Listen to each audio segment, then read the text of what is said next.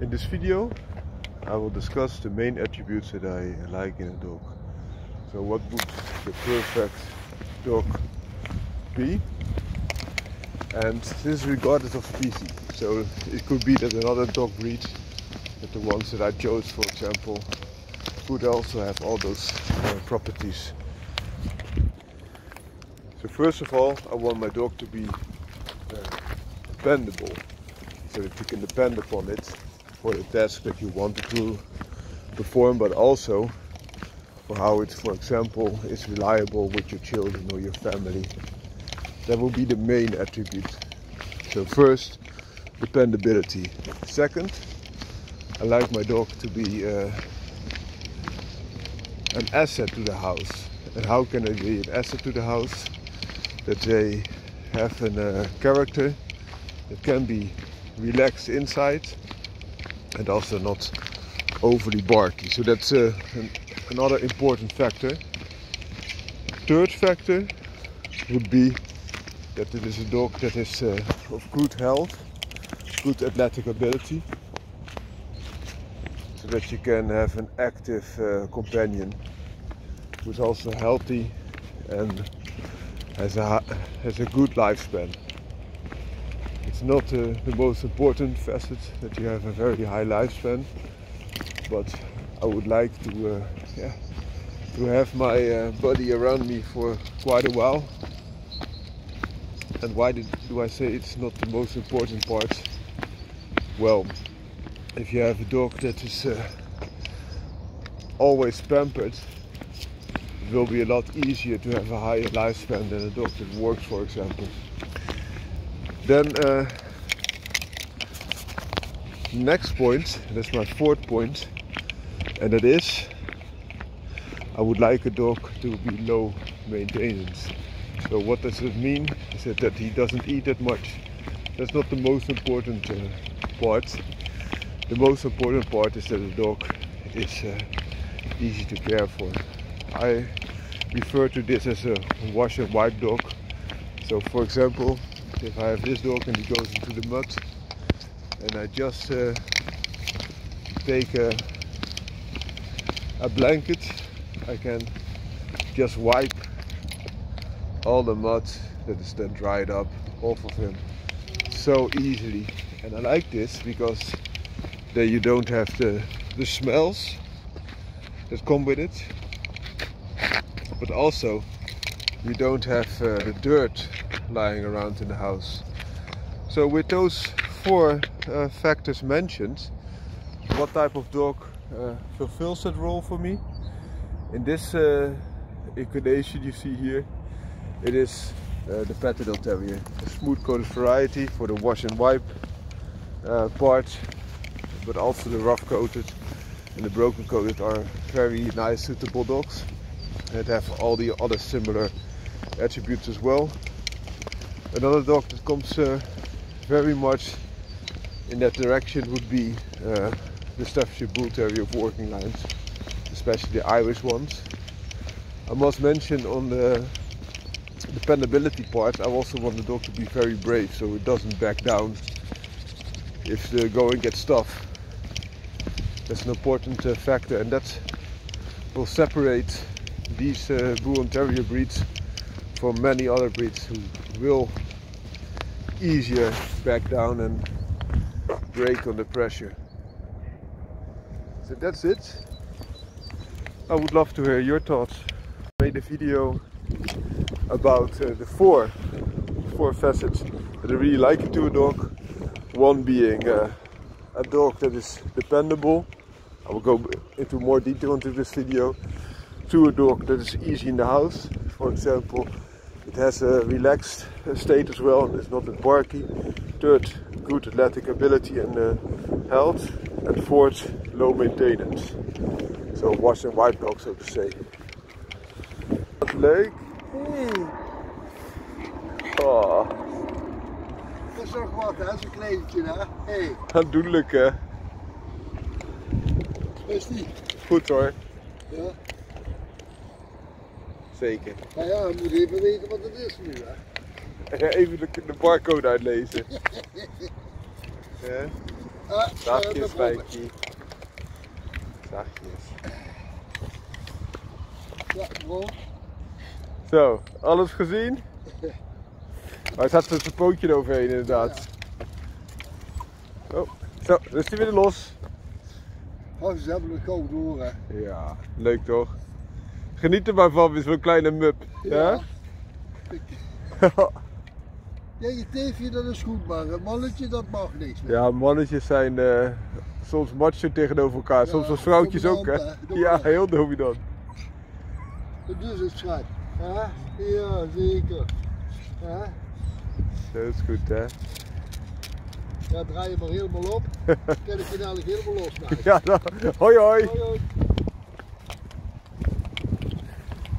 So, now we're going to talk about dependability. We saw that he was uh, easy with the pup. That's one of the things that I really like about a dog. That you know that they are relaxed with pups. He's also relaxed with uh, bitches or female dogs. They can do a lot of things with him. But uh, male dogs, it depends.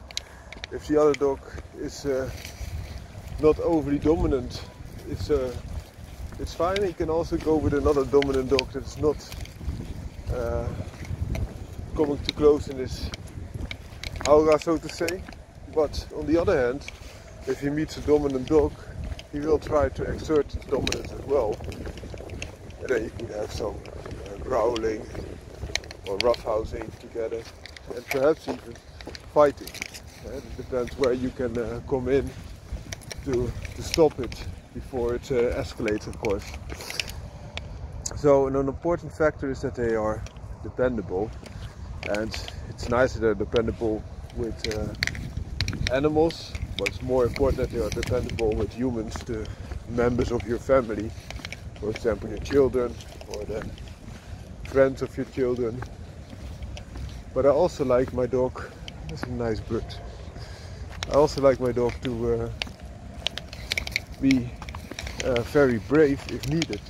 So, for example, if there would be a home intrusion or, some, or someone tries to kidnap one of your children, for example, that he will go in even though he's a very small dog, as you can see here. So that's a good thing. And also dependability could be on his uh, purposes. eh? If you want a dog that can uh, can have a watchdog ability, then it's nice that they also take that serious.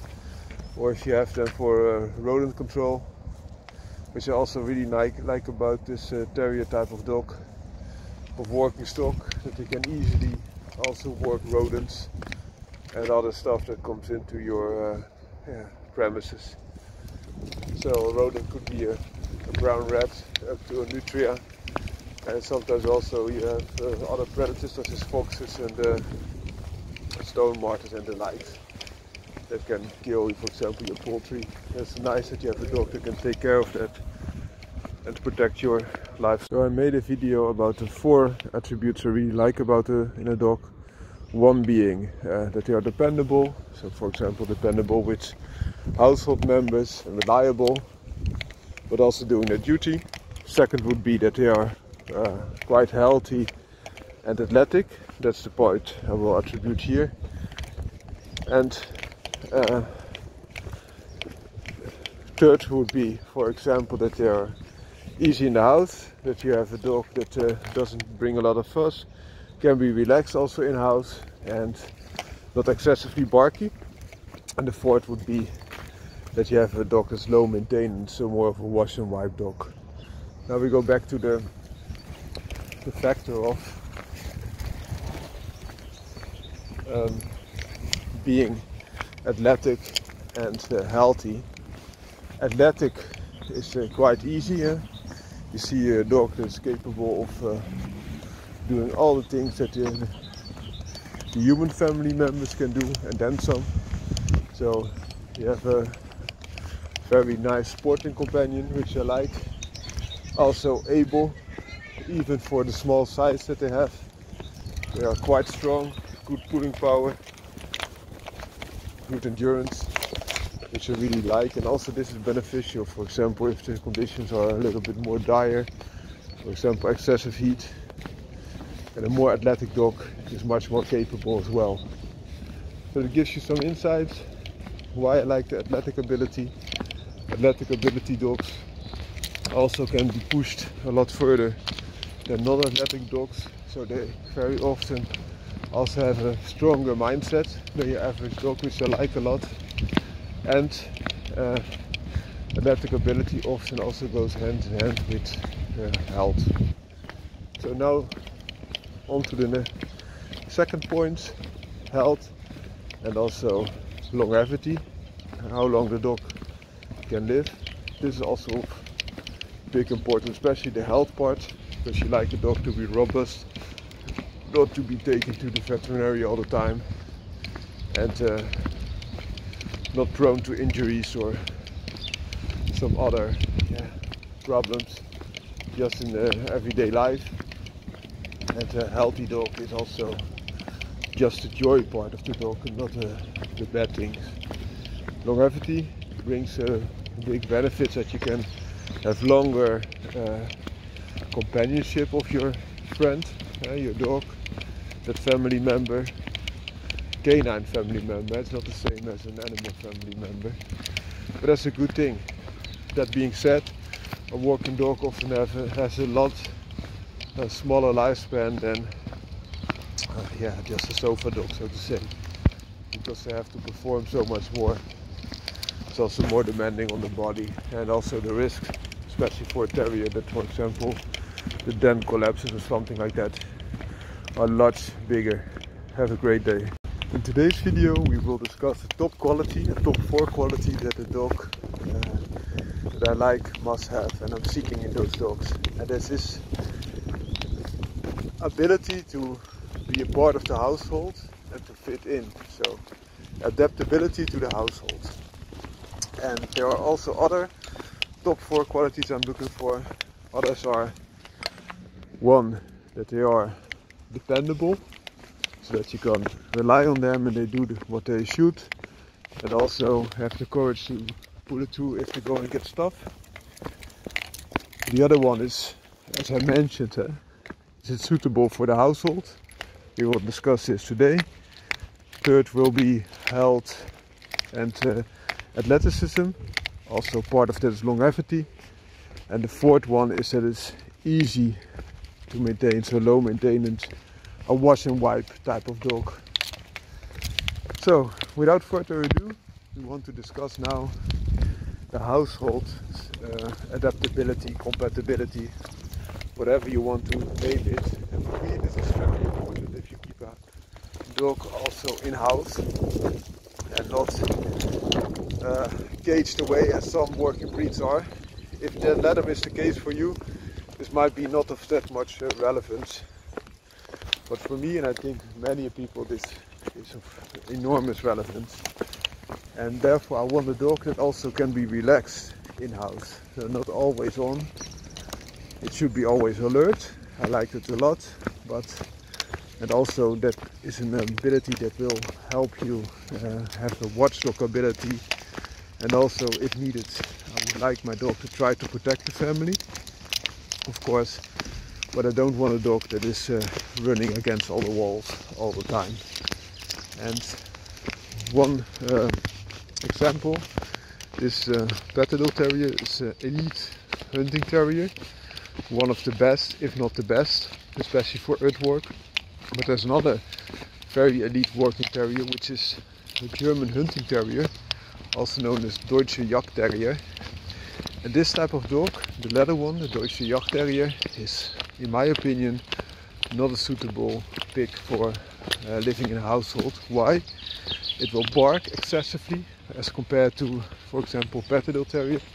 But there are other dogs, breeds that are even more barky, but they are also very energetic all the time, almost neuro neurotic, and I don't like that in a dog that can also be a part of the family in the household as a whole.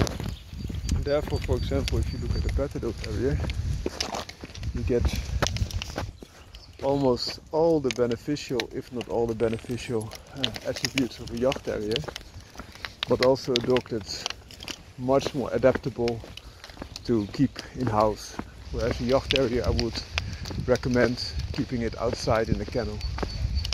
So it gives you some insight, and if you have a dog that is um, also completely barking all the time, it will reduce the watchdog ability, in my opinion. So this might seem uh, controversial. Why? Because if a dog barks, it helps, of course, as a watchdog. Sure. If it alerts you if something is amiss, I completely agree. But a dog that barks excessively will also bark at a lot of things that do not matter. And the result would be that uh, if you cry wolf too many times when there is a wolf, nobody uh, pay attention to what you are telling us. And that's the thing what I don't like about excessive barkers. I like a dog that barks if something is amiss or he thinks something is amiss, that's perfect. But do not bark every sound that you hear. For example, a car, car riding uh, past or a dog passing by. I don't like that. Uh, I like it a lot more when uh, there's something wrong. Someone is on the porch at night. If they bark then, that's perfect. Excellent. Yeah? Someone tries to break in your car, of course. If a cat is jumping on your uh, your roof, of course. I can imagine this. This is something that is strange and amiss and needs attention. But also, if you look at this Patterdale Terrier, very often when he sees or hears something, he first tries to examine it, it himself and then decide if it is worthy of a bark or not. And that's also the part of um, the silent type of terriers that they are, which I really, really appreciate. You also see this with a lot of uh, dogs that car carry the Bull and Terrier genes heavily. For example, Border Terriers also have this ability to a degree, but also, for example, Irish Staffordshire Bull Terriers and Patterdale Terriers could, with some lines, be very silent.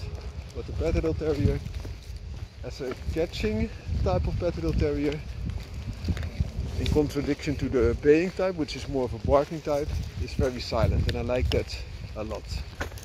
Well, I hope you like this video. We will close it now. Have a great day. So we are discussing a top quality in a dog, a top 4 quality I look for in a dog, and this is being low maintenance. I have four top top qualities that I always look for. One being uh, to be dependable, reliable, and also have the courage to pull through. Two would be uh, the health uh, and the athleticism, which is of big importance. But even more important could be that they are adaptable to the household.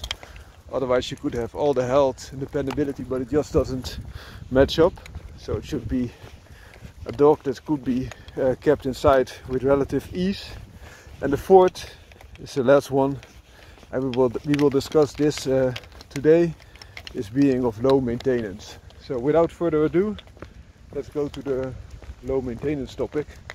And what do I mean with that? If you have a dog and every time when you walk it and it rains, you have to uh, put excessive care there and also scrape out the mud and all other uh, things, or you have to uh, work on the coat, brush it all the time and uh, give it a haircut. That is not low maintenance. Here you see a dog in my definition of low maintenance. Very short coat, which is uh, uh, dirt resistant. It just pushes out the dirt like uh, the coat of a mole does. And also this is funny because it's an earth terrier type of dog. Very uh, thick, but only single layer, top layer coat without an undercoat or very limited undercoat. This is beneficial. So for example in the rain you can just wipe it off and it's clean also it uh, doesn't carry that uh, dog odor which many people don't like me included and also if it's in the mud if the mud dries off very often it already falls off naturally and otherwise just a simple wipe will suffice this is very nice also you like a dog that's not uh, hard uh, to feed so for example some dogs are very uh, sensitive. I don't like my dogs to be sensitive to the feet. Of course, it can uh, can happen and then you should take care of it. But I love my dog to be very easy, that you can just feed it almost everything and it will go uh, well. That's not saying that I will feed my dog everything, but it's nice to have. Also I like a dog that uh, is small enough that you can keep it almost everywhere. You can take it along. There's also a benefit of this. You can put it in a kennel, for example, traveling kennel, but also keep it on your at the feet end of the passenger side with ease and still spare uh, room. So those are some of the benefits of this uh, latter category, being low maintenance, and uh, I like it a lot. So I hope uh, to hear your opinions on this topic. Have a great day. Towards low maintenance. So wash and white dog, so to say. Wat leuk. Hey, Oh, is toch wat, hè? Zo'n kleedje, hè? Hé, aandoenlijk hè. hey, is die? Goed hoor. Ja. Zeker. Nou ja, we moeten even weten wat het is nu, hè? Ja, even de, de barcode uitlezen. Ja, Ah, zachtjes, eh, Bijkie. Zachtjes. Ja, bro. Zo, alles gezien? Maar hij zat er zijn pootje eroverheen inderdaad.